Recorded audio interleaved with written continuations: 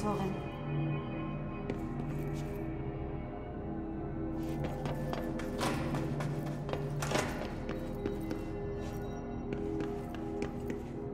Vor fünf Tagen haben wir das Gebäude erstmals betreten.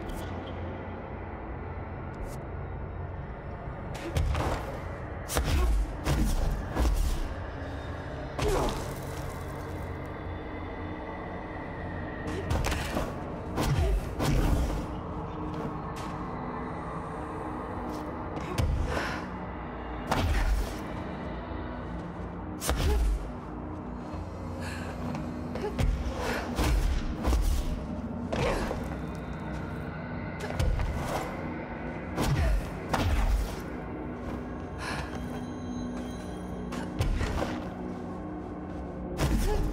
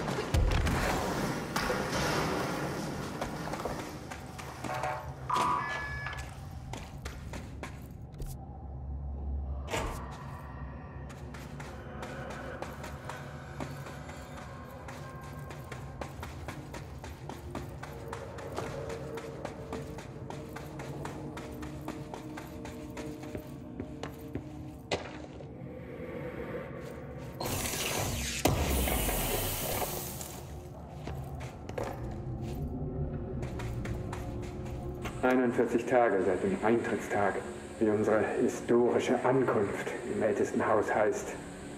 Die Moral lässt lange tot und fängt an ziemlich zu müffeln. Meine Forscher behaupten, eine Präsenz beobachte sie. Viele hatten Nervenzusammenbrüche oder wurden evakuiert. Eine gute Neuigkeit ist, dass ich neue Freunde habe. Ich habe sie in den tieferen Höhlen gefunden. Ich kann sie schwer beschreiben. Eine Art Avantgarde-Skulptur eines Menschen. Ich nenne sie die Ed. Sie sind friedlich. Ja, sogar höflich und ruhig. Im Gegensatz zu meinen lieben Kollegen. Die meisten Eds sind scheu. Einige aber auch neugierig. Während ich meine Notizen machte, bestaunte einer meine Skizzen. Ich bot ihm meinen Stift an, doch das vertrieb ihn. Was sind die Ed? Bewohner? Gefangene?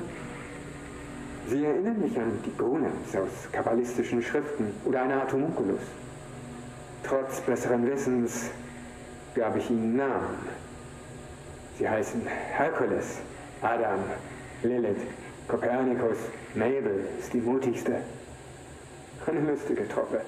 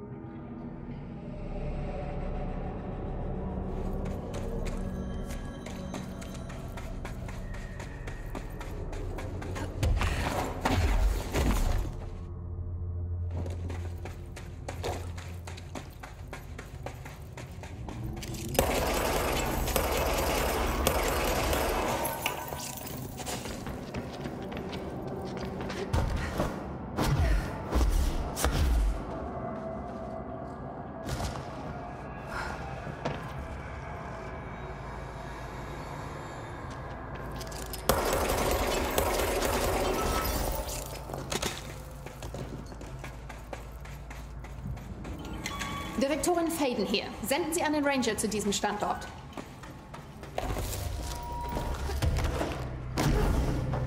Es ist eine Ehre, Direktorin.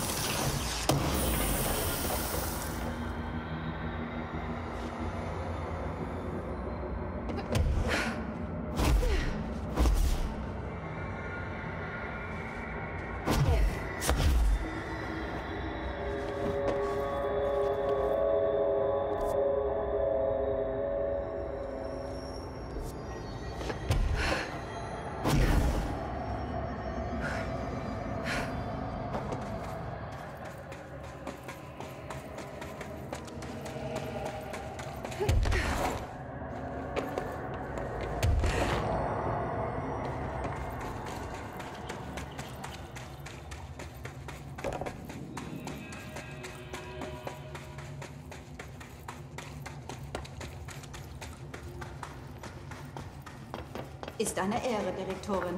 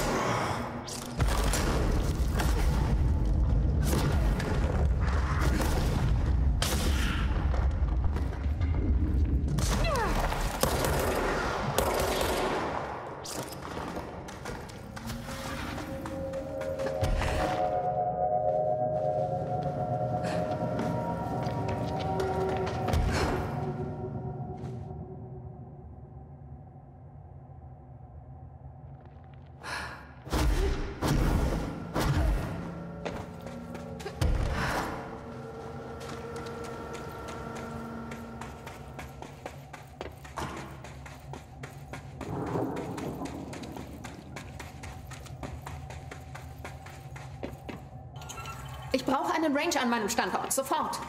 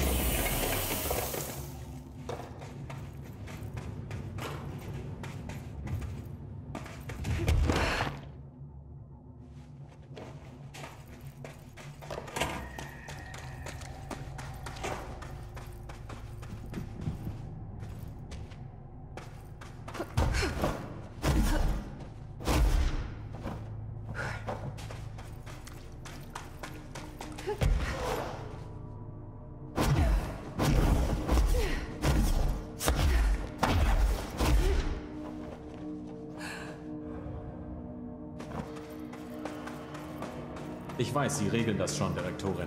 Ganz bestimmt.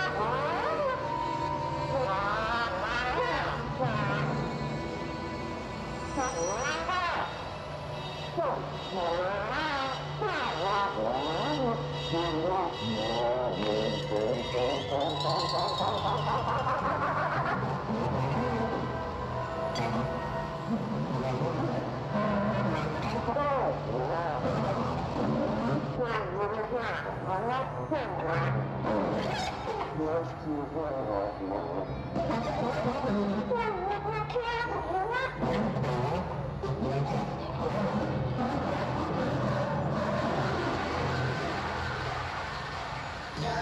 yes, yes.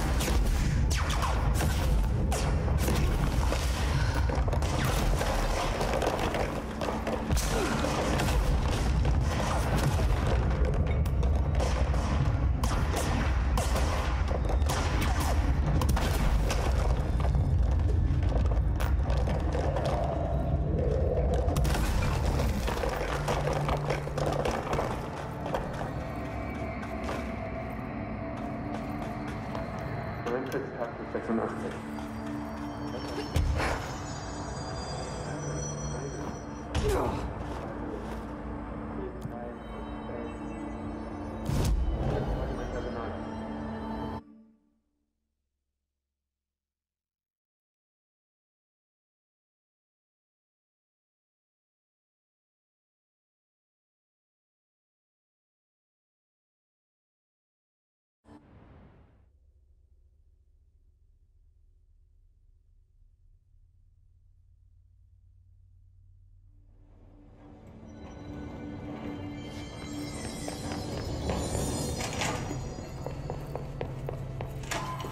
Hier ist Direktorin Faden. Schicken Sie einen Ranger zu mir.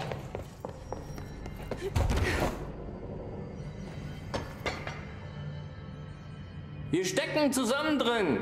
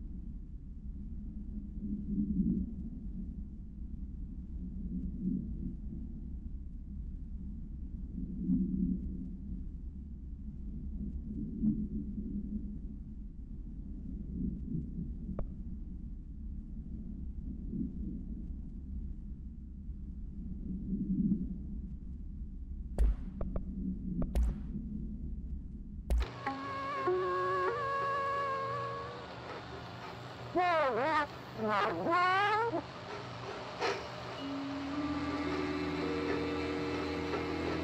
ngọt quá ngọt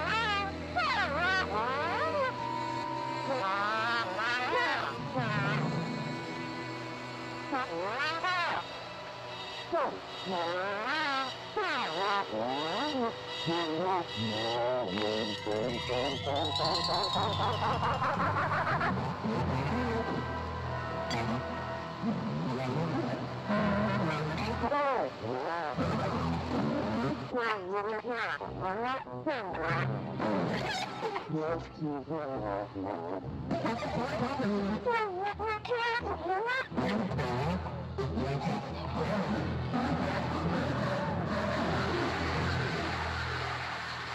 Join us, Mr. Please. Let's join us,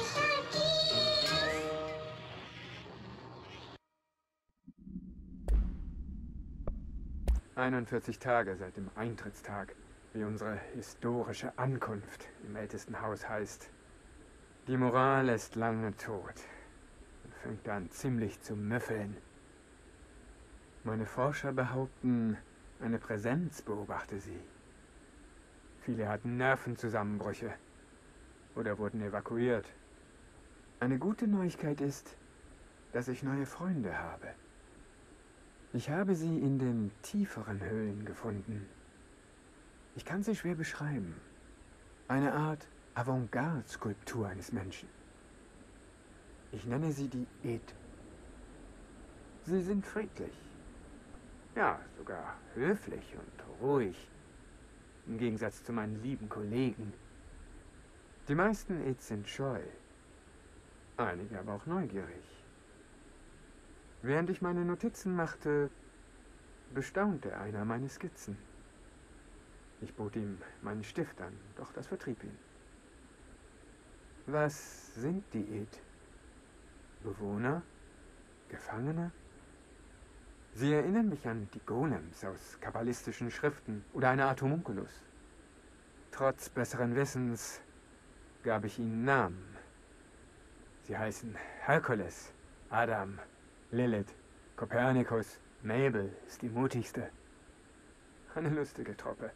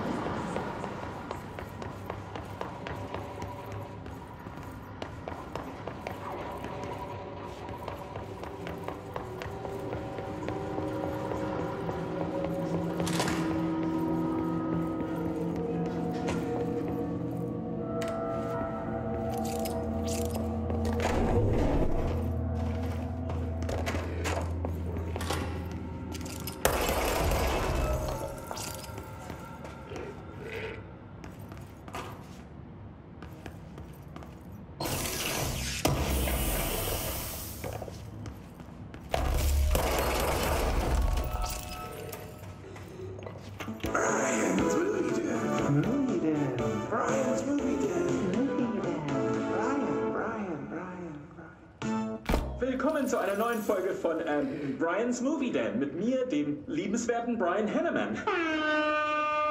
Heute spreche ich über einen neuen Film von äh, Movie Night, also Night mit einem K, dem Mekka für Videokassettenfans in der Region Dallas. Yeehaw! Der Film heißt Delivery Disaster. Wir gehen direkt rein. Ein Postbote fährt ein Laster voller Pakete durch ein äh, endloses amerikanisches Viertel und ein äh, Rudel tollwütiger Hunde jagt ihn. Also diese Hunde sind kein bisschen wie Chuck, der Corgi meiner Mutter, äh, meiner Stiefmutter. Das sind albtraumhafte Höllenhunde. Die Hunde halten mit dem Laster mit und reißen Stücke aus den Beinen und Armen des Fahrers. Jedes Paket, das er aus der Tür wirft, trägt seinen blutigen Handabdruck. Er schreit vor Schmerz und Verwirrung. Das geht so lange, bis der Film abrupt endet. Es gibt keinen Abspann, was ziemlich mutig ist. Ist dieses Video ein Kommentar über unsere mörderischen Jobs oder die Feindseligkeit der modernen Welt gegenüber überholten Konzepten wie Briefträgern? Vielleicht zeigt es die Vergeblichkeit von Sinn und Zweck und dass keine Aufgabe je erfüllt werden kann. Die Interpretation ist ziemlich offen. Aber jetzt zu dem, was euch alle wirklich interessiert. Die Wertung. Ich gebe diesem Film vier von fünf Punkten, weil der Schauspieler ständig die vierte Wand durchbricht, in die Kamera sieht und diese anschreit, als wollte er den Zuschauer anschreien. Das ist mir nicht subtil genug. Aber ich finde ihn gut und kann nur empfehlen, andere Filme von Blessed Pictures anzutesten. Bike Hard und Coffee Bullet sind zwar die einzigen, die ich finden konnte, aber dieses kleine Arthouse-Studio reizt die Grenzen des westlichen Kinos echt aus. Bitte denkt daran, dass es nächste Woche keine Folge gibt, weil ich zu Thanksgiving meine Tante in Delaware besuche. Danke fürs Zuhören, ihr Brian-Fans. Und nicht vergessen, wir alle lieben die Magie von Filmen. Aber denkt auch an eure eigene Magie. Bis nächstes Mal. Brian's Movie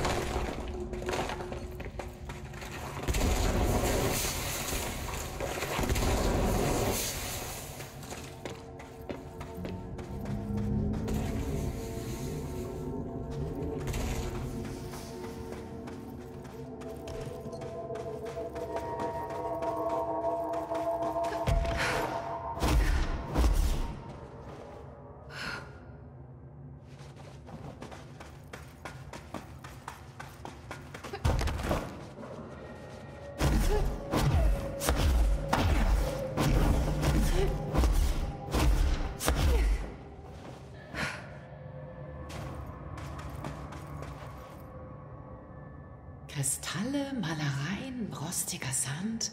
Dieser Ort ist eine Forschungsgoldmine.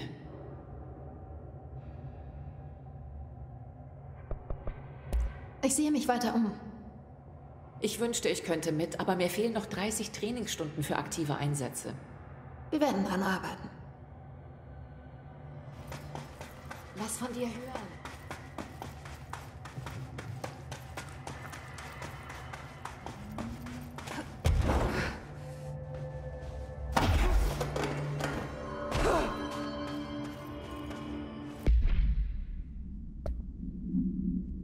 Brian Hanneman, 20 Jahre alt, wohnhaft im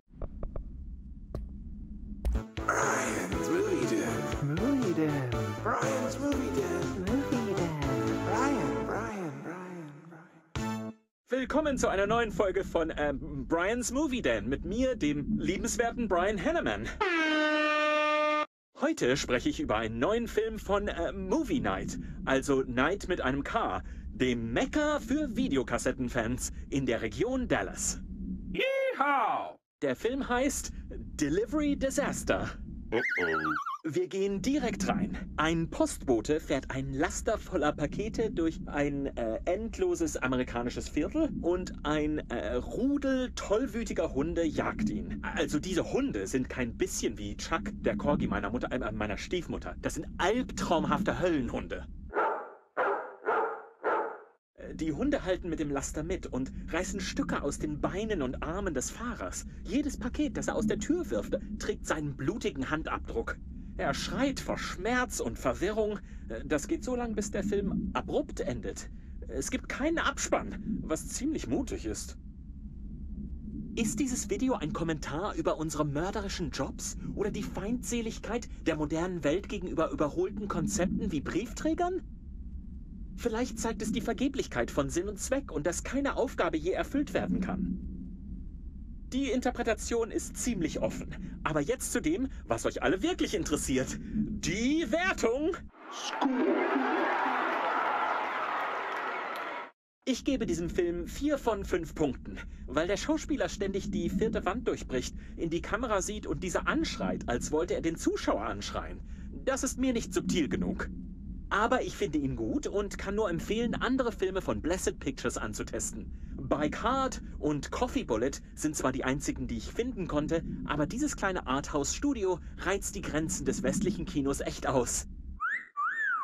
Bitte denkt daran, dass es nächste Woche keine Folge gibt, weil ich zu Thanksgiving meine Tante in Delaware besuche. Danke fürs Zuhören, ihr Brian-Fans. Und nicht vergessen, wir alle lieben die Magie von Filmen. Aber denkt auch an eure eigene Magie. Bis nächstes Mal. Movie Den. Brian's Movie Den. Movie Den. Brian, Brian, Brian, Brian.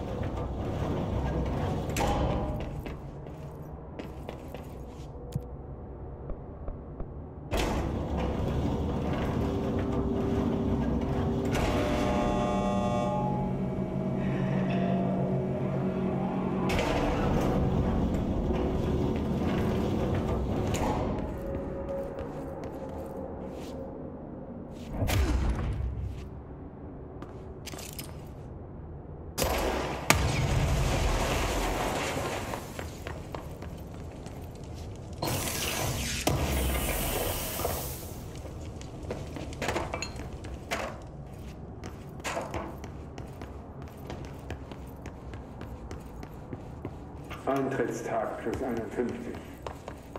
Northmore hat eine groß angelegte